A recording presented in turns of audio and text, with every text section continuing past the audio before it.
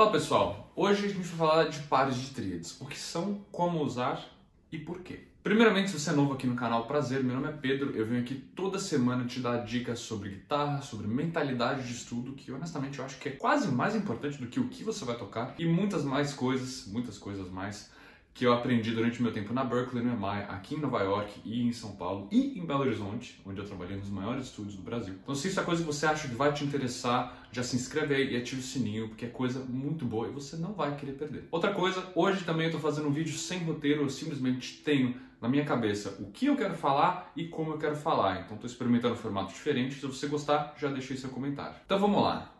Pares de tríades, o que, que, são? Basicamente, pares de tríades são literalmente um par de tríades, ou seja, no total seis notas, sendo que você vai ter um grupo de três e outro grupo de três, e você vai juntar esses dois grupos para geralmente conseguir destacar de uma forma um pouco mais interessante do que simplesmente como uma escala. Você vai destacar o som de algum modo que você quer. Hoje eu também quero experimentar um novo método de estudo que eu desenvolvi, que eu pensei, não sei se eu vou falar que eu criei as coisas, porque tem muita gente criando muita coisa o tempo todo. Mas eu pensei nisso esses dias e eu quero começar a usar isso para organizar meu estudo, tem me ajudado muito e eu quero passar para vocês. É o método o que, por que e como, certo? Então, primeiramente, o que? A gente vai estudar pares de tríades, certo? Essa é a resposta, essa é a resposta da primeira pergunta. O que? Por quê? Por que a gente vai usar pares de tríades? Para no meu caso, foi para ter um som um pouco mais moderno, conseguir ter um fraseado menos. Não sei se eu vou usar essa palavra certo, mas um fraseado menos linear, um fraseado menos. Isso para mim é linear, né? É segunda, segunda, segunda, né? Uma segunda, uma segunda, segunda. É, são várias segundas, né? Simplesmente uma escala. Eu quero evitar isso, então esse é um dos objetivos. Outro objetivo é conseguir destacar de uma forma um pouco mais interessante e menos óbvia alguma sonoridade, talvez um pouco mais exótica que eu queira é, ter, certo? Então esse é o meu porquê. E agora, o como, certo? Então, depois de saber o que, pare de tríade, você já sabe o que, que você vai estudar. Por quê? Isso é muito importante para você saber quando você atingir o seu objetivo. Se eu falar, quero estudar pare de tríades, mas não souber o porquê que eu estou estudando isso, não adianta, você nunca vai saber quando que você chegou lá e quando que você pode passar para a próxima coisa. Ou você nunca vai saber se o seu estudo não está rendendo. Isso é muito importante. Se o seu estudo não estiver rendendo você não perceber, você vai gastar tempo e ninguém quer isso. Então agora vamos lá. Como? Essa é a parte mais legal da aula. Para de tríades, né? Para você tirar o som de um modo, você pode fazer de diversas formas. É a forma mais prática, alguns dirão mais fácil, mas eu direi simplesmente a forma mais eficiente de você conseguir extrair o som de um modo através de um par de tríades é você pegar duas tríades consecutivas, certo?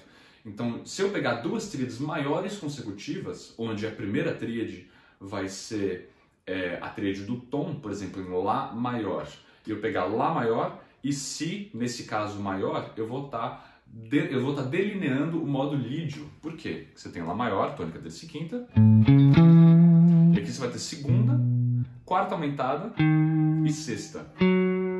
Também pode ser usado no modo mixolídio. Por quê? Porque a sétima do Lá não está sendo tocada. Então fica ambíguo. Eu posso fazer.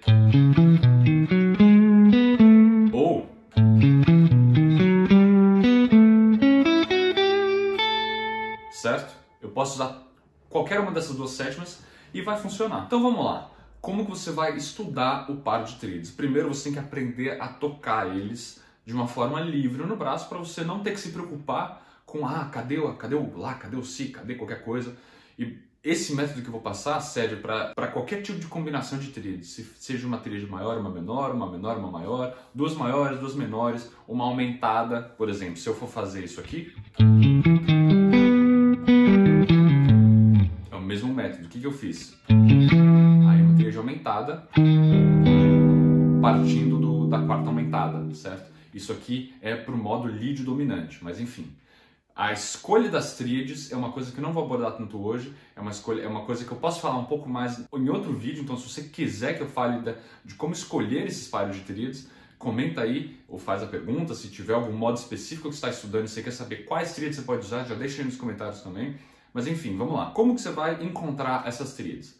Todo mundo aqui no canal sabe, né? Pelo menos tem me acompanhado há alguns, é, alguns meses já, sabe que eu gosto do meu método de oitava. Eu acho que é uma maneira super eficiente de você ver o, braço, o braço da guitarra. Eu acho que é muito mais é, conveniente do que o caged. Você tem que, você demora muito menos para conseguir colocar alguma coisa na mão E é com isso que a gente vai trabalhar hoje, certo? Então é o seguinte, o meu método da oitava, eu basicamente estou visualizando, né, originalmente, a escala apenas em uma oitava e você tem três shapes de tocar uma oitava de cada escala. Se eu estou tocando Lá maior,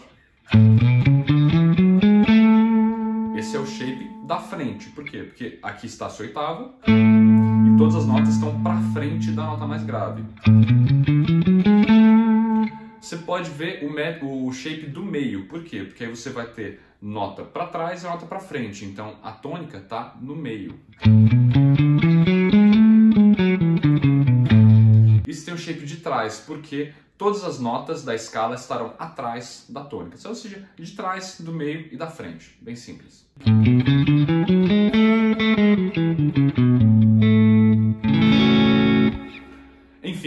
Três shapes, eu consigo tocar a mesma escala em qualquer lugar do braço sem ter que aprender cinco shapes do Kajed, certo? Só você aprender três shapes e aprender a tocar ele aqui, aqui, aqui, aqui.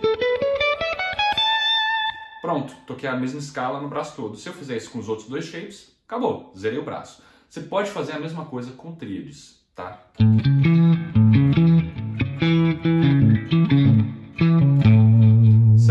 Mesma coisa, shape da frente, shape do meio e shape de trás. Agora a gente vai fazer isso com o par de tríades. E isso funciona, de novo, em qualquer lugar do braço. A gente quer conectar a tríade 1 para a tríade 2 com o menor movimento possível da última nota da primeira para a primeira nota da segunda. O que isso quer dizer? Eu vou terminar a tríade, nesse caso, na quinta. Que eu estou escolhendo começar do Lá. Se eu começasse da terça, acabar na tônica, certo? Mas enfim, a gente está aqui. A nota mais próxima desse Mi, o Mi é a quinta do Lá, certo? A nota mais próxima do Mi, que faz parte da tríade de Si maior, vai ser Ré sustenido, certo? Porque a gente está certo? A gente está tocando Lá maior e Si maior, não é Si menor, como no modo jônio. A gente está fazendo aqui uma menção ao modo lídio ou lídio dominante. Enfim, modo lídio, quarta aumentada, certo? Quarta aumentada está aqui. Das notas do Si, a gente tem Si, é, é, Ré sustenido e Fá sustenido. O Mi está mais próximo do Ré sustenido, por quê? O Si está uma quarta abaixo, né? Fá sustenido está um, um, tom inteiro na frente, né, acima. Então a nota mais próxima é meio tom para baixo, que é o Ré sustenido. Então o que a gente vai fazer? Vai tocar o Lá aqui, e aí vai meio tom para trás, e vai tocar a tríade de Si.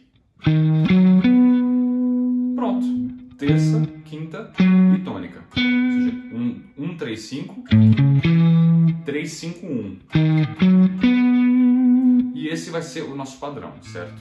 Então o que você vai fazer agora? Antes de você começar a fazer isso tudo, você tem que saber tocar as inversões de uma tríade no braço, certo? Seja em um jogo de cordas ou em uma posição. O que eu quero dizer? Para cada inversão você pode tocar das três formas, né?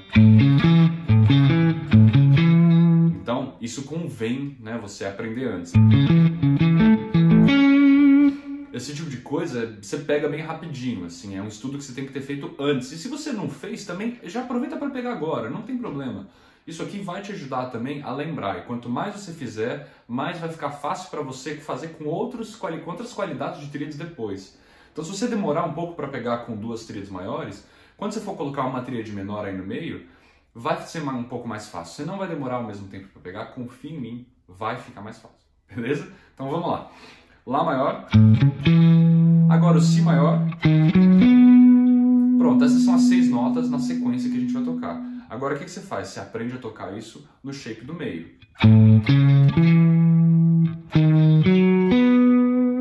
Certo? Isso aqui.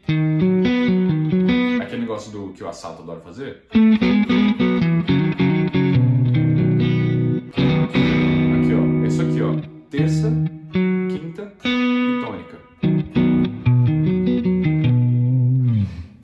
Faz aqui, aqui, certo? E aí, o que pode ser mais chatinho, o de trás. Certo? O que, que você tem que saber? Sempre saiba quais são as notas que está tocando, né? Tônica, terça e quinta, terça, quinta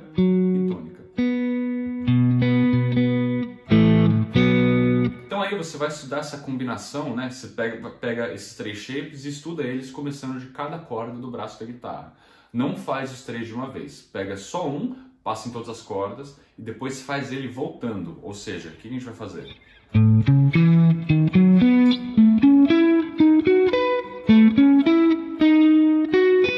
Aqui, ó, tem que lembrar sempre que sempre que você envolver a corda Si no negócio, o shape muda um pouco. Aqui ele é assim, certo? Você tem esse, essas duas notas aqui é, na mesma casa. Quando você for para começar na corda Ré,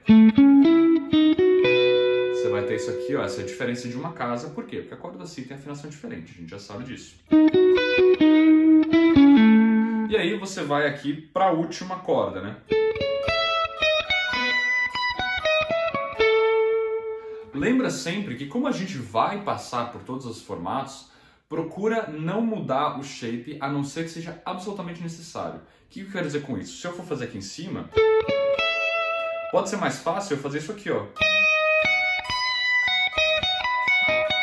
Certo? Que vem desse shape aqui.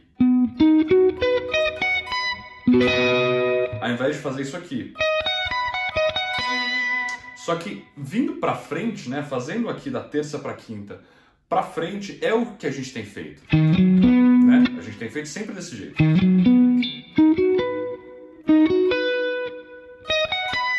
A gente tem feito sempre desse jeito. Então, se você começar a mudar, aí vai confundir sua cabeça, certo? Então, tenta sempre fazer exatamente a mesma coisa, começando em cordas diferentes. É uma coisa que eu não sei se eu já falei em outro vídeo, mas é uma coisa que eu gosto de falar com os meus alunos. Quando você vai é, estudar alguma coisa, tenha apenas uma variável, certo? Você vai estudar par de tríades e você está fazendo algum exercício que tem uma variação, o resto não pode mudar, senão vai confundir sua cabeça, certo? Então vamos lá. Agora você faz voltando. O que, que você vai fazer? Certo? Então você tem que fazer subindo e descendo. Aí você tem que achar o Si. Cadê o Si? Tá aqui. Então o próximo Si que a gente vai pegar é esse aqui. Cadê o Si? Tá aqui. Cadê o Si? Tá aqui. Então você tem que saber tocar isso aqui. Por quê? Isso vai te ensinar a visualizar, a, a visualizar o par de tríades, começando da segunda, voltando para a primeira. Porque nem sempre você vai visualizar isso fazendo, certo? Subindo. Você pode querer visualizar? Por exemplo, né? Pode querer tocar voltando, então você tem que estudar. Tudo que você vai tocar, você tem que ter estudado antes, senão provavelmente vai dar errado, certo? Então vamos lá, de novo. Encontro Si. Encontro Si. O que que tá acontecendo? Eu tô vendo aqui tônica, quinta, terça, aí depois quinta, terça e tônica.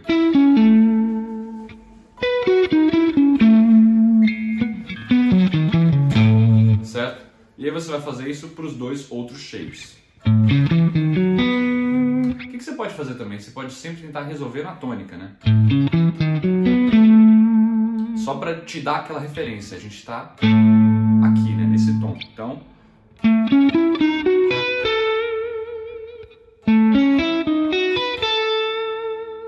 Aí aqui já acabou, né? Aqui não tem mais espaço. Então, aqui eu teria que mudar o shape. Por quê? Porque eu não tenho mais corda.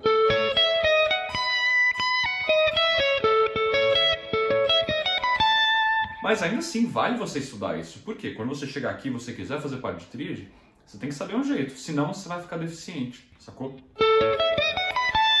Então faz isso para os três shapes, certo? Você faz isso aqui para o shape de trás também, ó. Aqui a gente está fazendo o mesmo formato que a gente fez aqui. Certo? Então o shape do Si está se repetindo.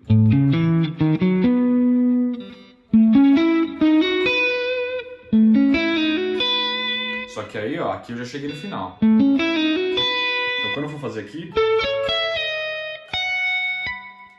você tem que saber se virar, mas não tem problema, porque é assim que o jogo é, né? Nem tudo vai ser absolutamente perfeito. O que, que você vai fazer? Estuda isso, aí depois o resto você pode ver lá o meu, o meu vídeo de como aprender um lick e você vai ter os passos de como poder implementar isso musicalmente, certo? Hoje eu estou te ensinando aqui como encontrar esses pares de tríades na guitarra e como você pode organizar o seu estudo também com um sistema do o que, por que e como, certo? Não, o que? Pare de tríades. Por quê?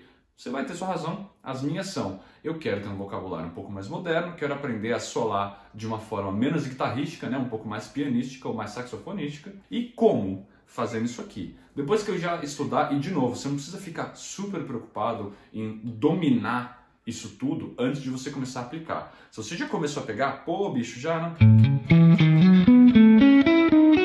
Né? Aí você pode misturar os shapes, ou seja, isso aqui eu fiz da frente.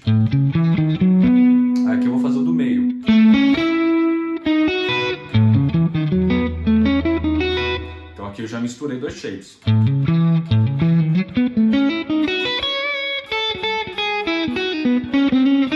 Você já começa a misturar eles e já tenta implementar. Quanto mais rápido você conseguir passar para a fase de implementação, mais rápido você vai conseguir usar isso efetivamente no seu improviso, porque você, um, ainda está pilhado para aprender isso, você não cansou ainda. E dois, você já logo associa esse negócio novo que está aprendendo como uma coisa musical, senão ele vira exercício. Faz uma diferença, na sua cabeça isso faz diferença. Então tenta aplicar o mais rápido possível. E dois, o segundo ponto, você vai conseguir entender onde é que você precisa estudar mais. Então, quanto mais rápido você partir para a aplicação, você vai sentir alguma dificuldade, porque é normal, a gente é ser humano, e aí você pega essa dificuldade e você estuda o que acontecer ali, certo? Você fala, porra, aqui esse shape, pô, a mudança desse shape para Aí você pega ali, por exemplo, pô, a mudança desse shape aqui, quando ele tá no quando tem essa diferença de casa, isso aqui é difícil para visualizar. Então você já sabe que você tem que estudar esse shape. Então você já pode focar nisso. Estuda bastante, implementa, divirta-se, isso aqui é coisa muito legal, tem mil e uma possibilidades de pares de trilhas que você pode usar. Cada uma delas vai te dar um gostinho de um modo diferente e no final, quanto mais você estudar, mais vai ficar fácil você adicionar outras no seu vocabulário depois, beleza? Então é isso, peguem essa dica, estudem bastante, que vocês vão sair suando que nem, sei lá, Jesus Molina, tá ligado? Então é isso. Se você gostou do vídeo, deixa aí seu comentário, deixa seu like, me conta o que você achou desse formato menos roteirizado. Geralmente, às vezes, eu fico um pouco mais travado, mas hoje eu acho que saiu bem legal, foi divertido fazer esse vídeo. Então é isso, pessoal. Estudem bastante, estudem com atenção, com carinho e fiquem ligados, porque sempre tem mais coisa para estudar e o buraco é sempre mais embaixo. Beleza? Até semana que vem. Valeu!